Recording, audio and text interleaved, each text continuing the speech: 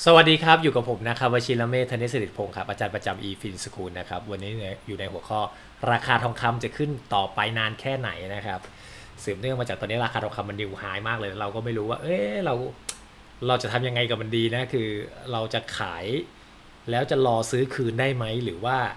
หรือว่าเราต้องซื้อตามไปเลย หรือเราจะทำกับมันยังไงดีในสถานการณ์ต่อจากนี้นะครับ เราก็มาอัปเดตกันสักนิดหนึ่ง คือของเดิมที่เราอัดไว้จริงๆเราเปรียบเทียบทองคำกับบิตคอยน์แล้วเราก็พูดกันว่าทั้งทองคำทั้งบิตคอยน์น่าจะราคาตัวเพิ่มขึ้นทั้งคู่แหละ เพียงแค่ว่ามันมีเขาเรียกว่ามันเป็น gen เก่ากับ gen ใหม่แล้วกันเนาะซึ่งซึ่ง gen เก่าก็จะสำคัญ ตรงที่ว่ากลุ่มอำนาจเก่าอย่างจีนรัสเซียกลุ่ม BRIC อินเดียอะไรพวกเนี้ยเขาก็จะเชื่อถือว่าจะซื้อเพิ่มขึ้นนะครับ สิ่งที่เราเห็นก็คือจากข้อมูลธนาคารกลางทั่วโลกเนี่ยก็จะซื้อทองคำสะสมเพิ่มขึ้นเรื่อยๆตั้งแต่ปี 2022-2023 รวมไปถึงกันจริงๆที่มี report ในช่วงไตรมาสหนึ่งปีนี้ด้วยนะ แต่ข้อมูลที่ผมแสดงผลเนี่ย ก็คือไอ้แท่งสีชมพูเนี่ยมันสูงขึ้นตั้งแต่ปี 2022 สูงสูงขึ้นมากกว่า โดยเฉลี่ย 10 ปีที่ผ่านมานั่นแหละนะครับ ก็มีการสะสมเพิ่มขึ้นเรื่อยๆนะครับ ในส่วนของบิตคอยพวกเราก็คงจะบางส่วนก็คงจะอัปเดตรู้จักแหละ มันก็จะสัมพันธ์กับเทคโนโลยีนะครับ แต่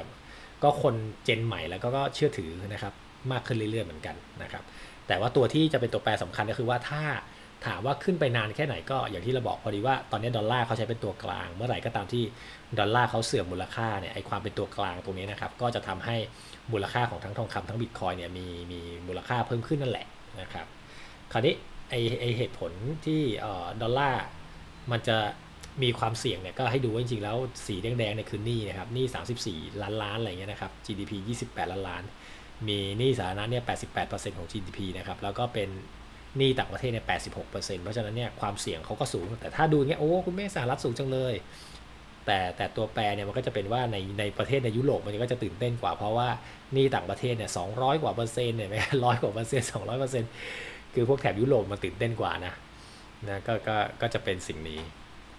ก็เรียกง่ายว่ามันมันมีลุ้นอะแต่ว่าผมก็เชื่อว่า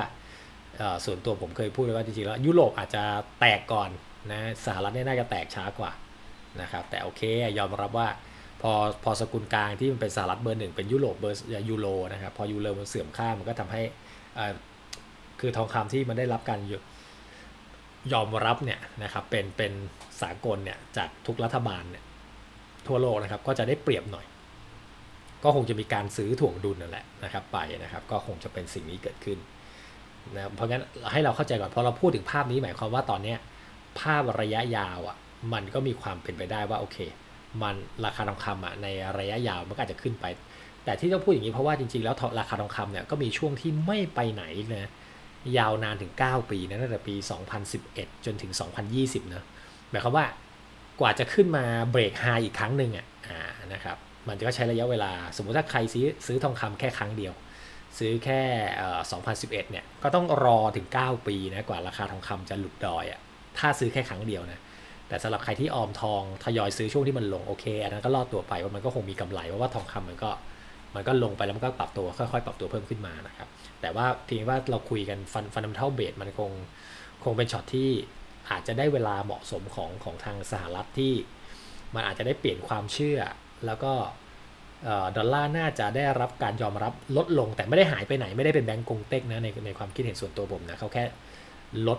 ความน่าเชื่อถือลงมีคนกระจายความเสี่ยงใช้เงินสกุลอื่นมากขึ้นนะครับเพราะงั้นทองดอลลาร์ก็อาจจะนี่ลดลงคราวนี้จุดตัวแปรที่จะทำให้ดอลลาร์มันลดมูลค่าลงนะครับมันก็จะมีอยู่ 2 ส่วนส่วนแรกให้ดูกราฟทางขวาก่อนก็คือเป็นเขาเรียกว่าดุลบัญชีเดินสะพัดของสหรัฐนะครับ ซึ่งเราจะเห็นว่าจริงๆแล้วเนี่ยเขาติดลบต่ำกว่าศูนย์มายาวนานนะตั้งแต่ปีโอ้ยตั้งแต่ก่อน1980น่ะนะเขาก็ติดลบมาตลอดนะครับ หรือว่าประเทศมีการใช้จ่ายเงินตาต่างประเทศมากกว่าได้รับคือถูกไหมดุลการค้ากับดุลบริการรวมกันแล้วหักลบแล้วก็คือเงินไหลออก เพราะงั้นจริงๆแล้วสหรัฐก็ใช้เงินเรื่อยๆ ส่วนตรงนี้เป็นเป็นเขาเรียกว่างบดุลของธนาคารกลางสหรัฐหรือว่าเฟดซึ่งเวลาตัวเลขงบดุลของสหรัฐอะเขาเพิ่มขึ้นเนี่ยมันก็หมายความว่าจริงๆแล้วรัฐบาลก็เป็นหนี้นั่นแหละถูกไหมแต่ตอนนี้สิ่งที่เฟดเขาพยายามทำก็คือสังเกตว่าเส้นมันโค้งลง ก็คือเขาพยายามจะขายพันธบัตรออกไปให้ให้ให้คนอื่นซื้อนะซึ่งตอนนี้นะครับก็ มันเป็นเหตุผลที่เขาต้องขึ้นดอกเบี้ยนึกออกไหมเขาเป็นเหตุผลที่เขาต้องขึ้นดอกเบี้ยแล้วก็คงตัวดอกเบี้ยระดับสูงเพื่อให้เขาขายได้ แล้วก็ลดความเสี่ยงของเขาตรงนี้ลง เพราะฉะนั้นในในสภาวะเนี้ยมันก็เลยเอ่อทำให้เราเห็นแหละว่าจริงสหรัฐยังมีความเสี่ยงเรื่องหนี้ความสามารถในการชำระหนี้แม้ถึงเศรษฐกิจจะโต แต่ว่าเทียบของดอกเบี้ยจ่ายเทียบกับอัตราการเติบโตของ GDP ที่เขาทำได้เนี่ยมันก็ยังไม่ค่อยคุ้มค่ากันจริงๆไอ้ตัวเนี้ยถ้าเราดูเป็นเว็บไซต์อะเป็นเป็นเป็นเขาเรียกว่าไง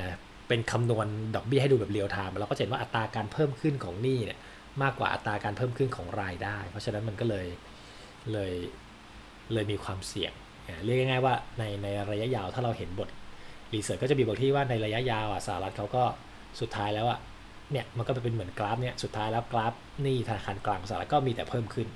มันก็จะมีลดลงระหว่างทางแล้วก็ new high ลดลงระหว่างทางแล้วก็ new high อีก มันก็เลยเหมือนกับว่าเราเขาก็ก่อหนี้เพิ่มขึ้นเรื่อยๆ ในระยะยาว มันก็เลยมองว่าดอลลาร์ก็น่าจะเออต้องลดมูลค่าลงนะครับ ก็ที่คุยอย่างนี้เพราะว่าให้เราเข้าใจกันว่าตอนนี้พอในยุคเปลี่ยนถ่ายตรงนี้นั้นทองคำเนี่ยมันก็อาจจะปรับฐานยาวๆเนาะหมายความว่าอาจจะมีการย่อบ้างระยะสั้นครับ แต่ถ้าโดย fundamental ตอนนี้ระยะยาวคิดว่ายังไม่หมดรอบคิดว่า ถ้าถ้าดอลลาร์ยังยังไม่ยังไม่นิ่งความปลอดภัยของดอลลาร์ยังไม่ชัวร์ในสถานการณ์ที่สุขภาพทางการเงินของรัฐบาลสหรัฐ ยังไม่ได้ดูแข็งแรงปลอดภัยขนาดนั้น คือสหรัฐเนี่ยมีจุดแข็งเรื่องพลังโจมตีนะก็คือ GDP เศรษฐกิจโต แต่จริงๆในเรื่องของพลังป้องกันเขาต่ำมันพอเขายังจัดการพลังป้องกันได้ไม่ดี เมื่อไหร่ที่พลังโจมตีเขาแผ่วเนี่ยเดี๋ยวแผลมันจะออกเนาะเพราะฉะนั้นไอ้ตรงเนี้ยก็ทำให้เรารู้ว่าโอเค ตอนเนี้ยระยะยาวราคาทองคำยังน่าจะ ทยอยปรับตัวเพิ่มขึ้นไปอยู่นะครับ ก็เป็นประมาณนี้นะครับ แล้วก็ขออนุญาตอัปเดตก็ในโปรแกรม Stock Pickup นะครับเทมเพลต Go for คลิกเทมเพลตด้านซ้ายนะครับ มาที่หมวดคนทั่วไปก็ไปที่เก่งกำไรรอบนะ จะมีเทมเพลตซีรีส์4เนี่ยเขียนว่า Go for นะเข้ามาก็จะเห็นว่าเนี่ยราคาทองคำในรูปแบบของดอลลาร์นะครับทางกราฟขวาบนเนี่ยก็ยังเป็นแนวโน้มขาขึ้นอยู่ เงินบาทก็ยังเป็นแนวโน้มขาขึ้นอยู่นะครับ แม้ถึงว่า ต่างชาติเนี่ยนะครับซ้ายล่างเนี่ยก็ long index futures ก็มีขายทำกำไรระยะสั้นบ้างนะครับ แต่ภาพรวมก็ยังยังซื้อมากกว่าค่าเฉลี่ย ส่วนกองทุนภายในประเทศส่วนใหญ่จะเป็นขายนะออกแนว sideway ซะเยอะมากกว่านะครับแต่โดยภาพรวมเนี่ยก็อย่างอย่างที่บอกครับยังไปข้างหน้ามากกว่าข้างหลังนะครับ แล้วก็ขออนุญาต tie-in ด้วยสำหรับใครที่สนใจ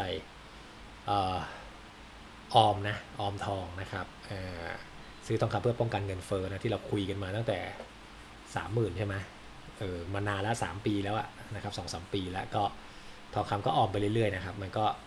ยังคงปรับตัวเพิ่มขึ้นไปเรื่อยๆ อย่างนี้อยู่นะครับ แต่ว่าหัวใจสำคัญคือซื้อทองคำกับ e f i n c o เนี่ย ราคาซื้อขายต่างกันแค่ 19 บาทครับอ่าซึ่งเราเวลาเราไปซื้อที่ร้านทองทั่วไปราคาซื้อขายมันต่างกัน 100 บาท แล้วก็ซื้อขั้นต่ำได้ทีละ 0.01 บาททองคำไม่จำเป็นต้องซื้อแบบหลายบาทนะก็ออมไปเรื่อยๆนะครับแล้วก็สะสมครบ 5 บาท 10 บาทก็ไปแลกทองคำที่ห้างทองโซ่เซ็งเฮงเยาวราช แค่นั้นเลยนะครับ แต่ถ้าเกิดสะดวกเนี่ยมันซื้อขายได้ 24 ชั่วโมงนะเสาร์อาทิตย์ก็สามารถซื้อขายได้ ก็สามารถกดซื้อขายได้นะแล้วก็มีตั้งคำสั่งอัตโนมัติอีกเออสามารถ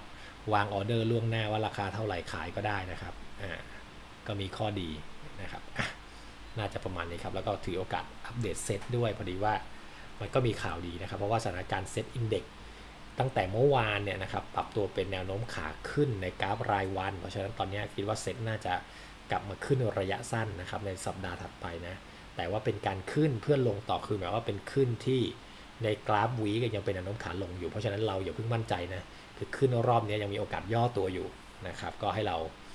เข้าใจว่าตอนนี้ยังเป็นขึ้นระยะสั้นอยู่นะครับ โอเคแล้วเดี๋ยวยังไงเราเจอกันใหม่สัปดาห์หน้าครับ สวัสดีครับ